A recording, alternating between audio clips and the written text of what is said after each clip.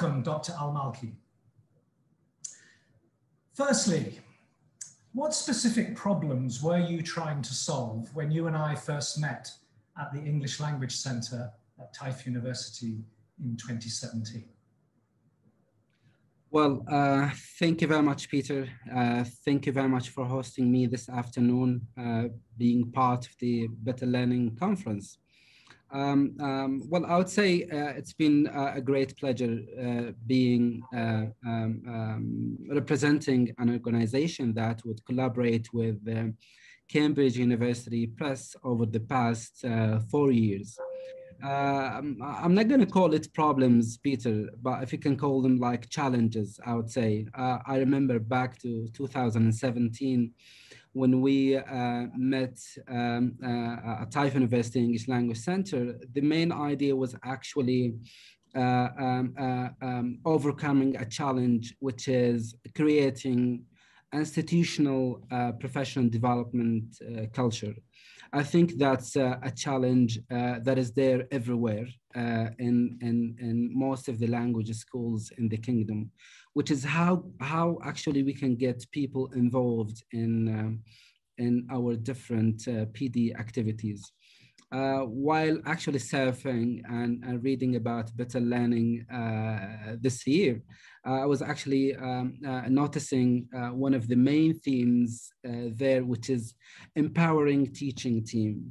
And I think, Peter, you and I, when we decided um, about actually trying to work on creating an institutional PD culture, that was for the purpose of empowering teaching team that would definitely um, uh, include uh, offering uh, unique uh, PD opportunities and definitely as a result, getting people involved uh, at a larger scale, I would say.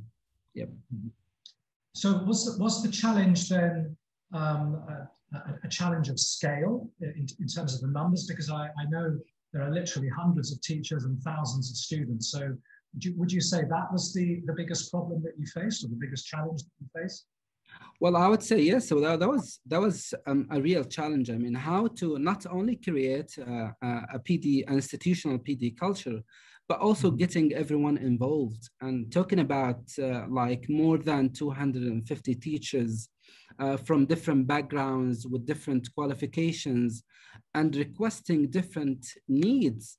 That's a real challenge and and at the same time you know um, at that time when we decided to adopt um, new teaching materials uh, uh, produced by cambridge university press uh, I think uh, that was not, not the only thing that uh, we should have been working on. Of course, we worked on other stuff, but also the challenge was um, uh, training teachers on how to use new teaching materials not only like tens of teachers, but you're talking about hundreds of them. So 250 teachers um, uh, required uh, uh, uh actually uh, creating an institution PD culture that is um, uh, highly um, productive. So yeah, getting everyone involved is a real challenge, and I think we've been um, we've been really successful, Peter, doing that together. So, you know, having identified what the challenges were, what, what actual steps did you take uh, in order to address these particular challenges? Well, thank you very much for the question. Um, uh, I think uh, it's uh, it's been it's been done uh, at different scales. I would say working uh, with um, my team at the ELC, the professional development team, and the ELC um, administration. We actually at the beginning tried to understand different teachers' needs at the at the center.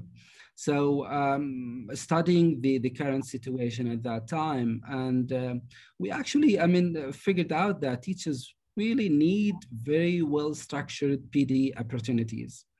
Uh, PD opportunities that are not only uh, uh, just just just um, I mean I mean for no purpose for no clear purpose but in order to getting people involved um, uh, very much, uh, PD should be structured, should be planned, should be supported, and eventually should be rewarded.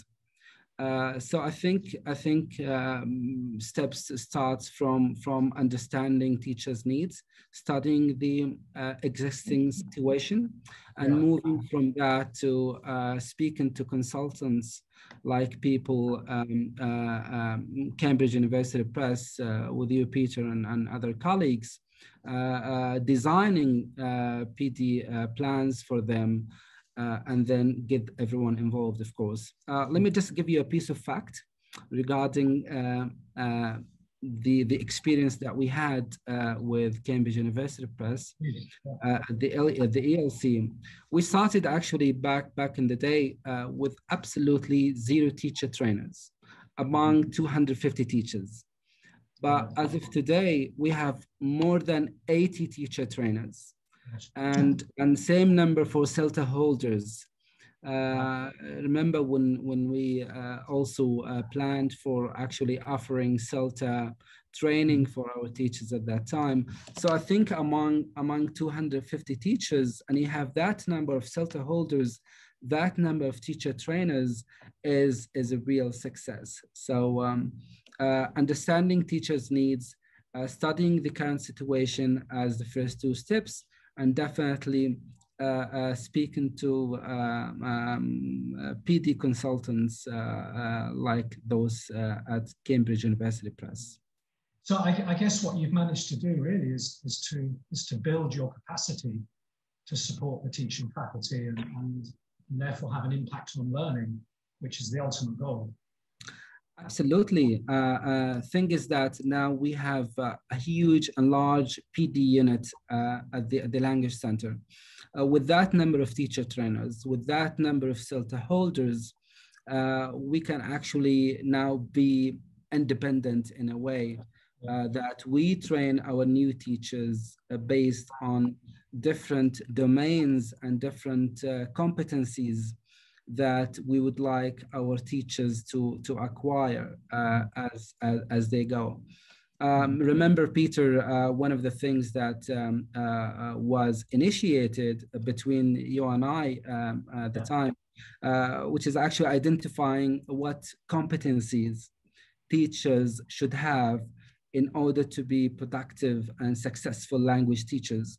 And I think uh, uh, starting that project, and I'm sure that colleagues uh, back at the ELC at Taif University would, would continue that project uh, in which they can also classify their teachers and provide them with the uh, uh, needed training sessions as, as yeah. they go. Yeah. Okay, great. Um, so what advice would you give, Dr. Mansoor, to to an organization like uh, the ELC at Taif University, if an organization was, was facing similar challenges or, problems, what, what would your advice be to them? Well, um, I, think it's it's it's um, uh, quite important that um, uh, different organizations or different uh, schools um, uh, need to uh, uh, um, have a plan for their uh, um, teachers in terms of empowering their teachers and teaching teams.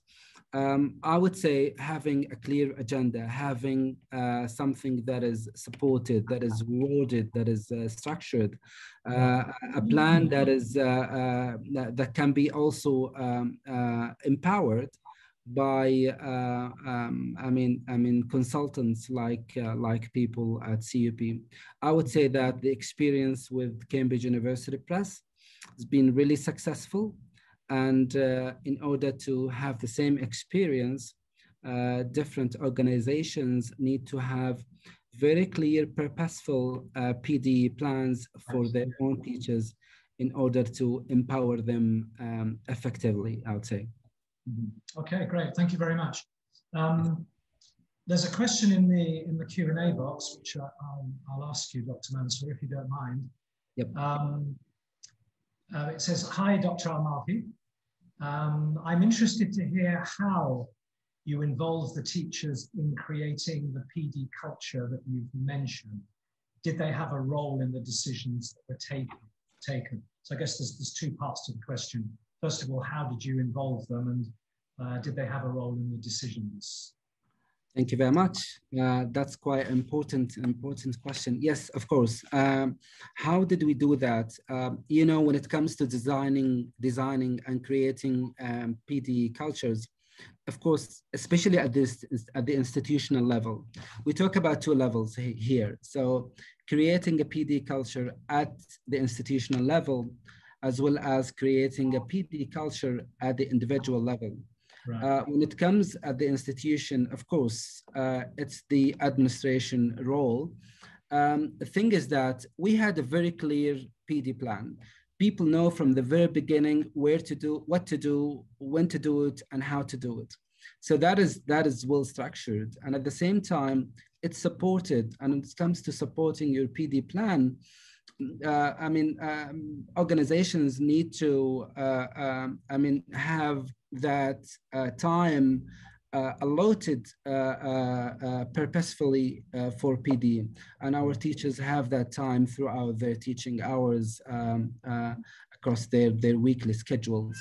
At the same time, we should have also a rewarded PD plan. Rewarded PD plan means um, when teacher do something, when teacher are involved in different PD activities, they need to see the result of that PD uh, involvement. Where is it gonna take them to?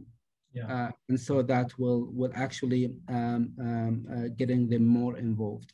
Mm-hmm. As for the second part of the question, mm. if you remind me, please. what, what was the well? Not um, not what was their role, but did they have a role uh, in decisions? Yeah, yeah, exactly. Yes, uh, we actually have a, have a PD unit. Uh, uh the PD unit unit, I mean, its main role is to study uh, teachers' needs, uh, and so they actually do a kind of frequent surveys, asking teachers what's your expectation? What do you need what do you need uh, uh, what areas of support that you need uh, help and and so on?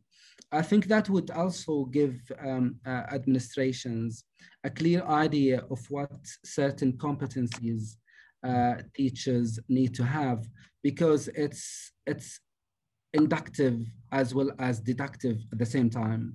So that would be very helpful i would say yeah, I think I'm right in saying also, Dr. Mansoor, that the ELC, there's a, a system of, of lesson observation, uh, but not lesson observation for assessment, but lesson observation for professional development. Um, and obviously that's, that's another uh, very effective way in which you can uh, identify what, what teachers' needs are. And it gives them an opportunity to talk to observers about uh, their, their, their needs. Absolutely. I mean, I mean, talking to teachers, listening to them, uh, getting their feedback every now and then, that would definitely be be, be very much helpful. Uh, eventually, they're, they're going to feel that they're part of the whole story. They're, they're, they're part of the whole initiative, and that will make them more involved, of course. Yeah. Okay, well, um, I think we've overrun a little bit. Much as I'd like to go on talking to you uh, this afternoon, I'm afraid that's all we've got time for. Um, so once again, a very, very big thank you to uh, Dr. Mansoor Almalki uh, and to all of those of you who've uh, joined us today. I'm just checking the Q&A box one more time. No more questions in the Q&A box. So a big thank you once again, Dr. Mansoor, and thank you to everybody who's uh, joined us uh, today. Thank you very much. Goodbye. Thank you. Thank you.